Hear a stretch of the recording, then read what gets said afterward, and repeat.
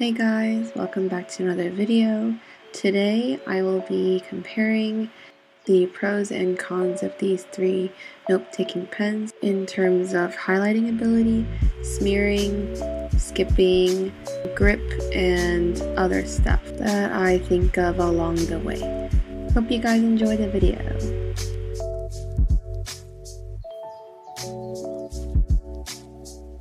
So first up is the Pilot Juice in 0.38 and I remember my first impressions being that the pen rattles a little bit while you write with it but in my opinion it's not really a big deal.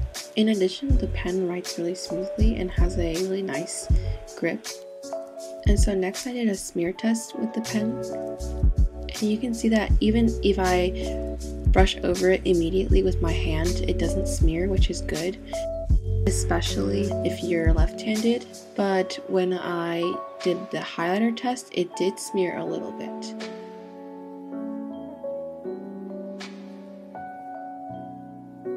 So next up is the Uniball Jetstream in 0.5, and this pen is actually a ballpoint pen.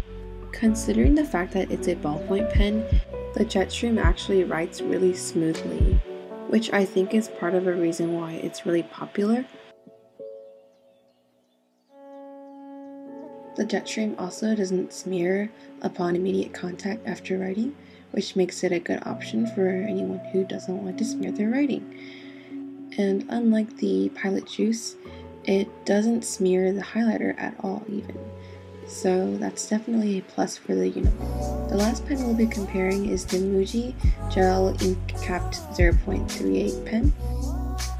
So the Muji pen is obviously the most visually aesthetic pen, but in terms of writing, I would say it's like an average gel pen.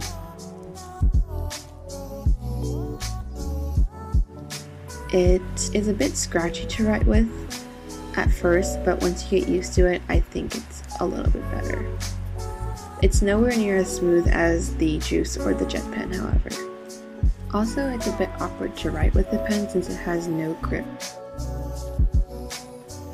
In terms of highlighting ability, it's pretty similar to that of the juice in that it does smear a little bit. In fact, the juice might actually smear a bit more.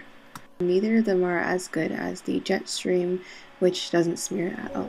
As a final comparison, I did a mini skipping test for the three pens, and as I mentioned earlier, for a ballpoint, the Jetstream is extremely well known for not skipping at all. The Muji was a little bit worse, and you can definitely see where it started to skip towards the end. The Pilot Juice was also very good at not skipping at all. Also, I'm not sure if you can tell in this lighting, but the Pilot Juice's ink is a little bit more pigmented than the Uniballs. So as a final recap, we compared the abilities of these pens in terms of highlighting, smearing, and overall skipping. In terms of ergonomic grip, which is basically how comfortable it is holding writing with it, um, and highlighting ability as well as non-smearing ability, I think the Uniball Jetstream is number one of the three options. And if you want a slightly more pigmented pen to use for note taking, I would suggest the Pilot Juice as an option, especially if you don't highlight that much or if you wait a bit and then highlight your notes later. And then as for the Muji, I don't really know what to say. I guess if you like aesthetic and you don't mind the rough writing and occasional skipping, I would say go for the Muji.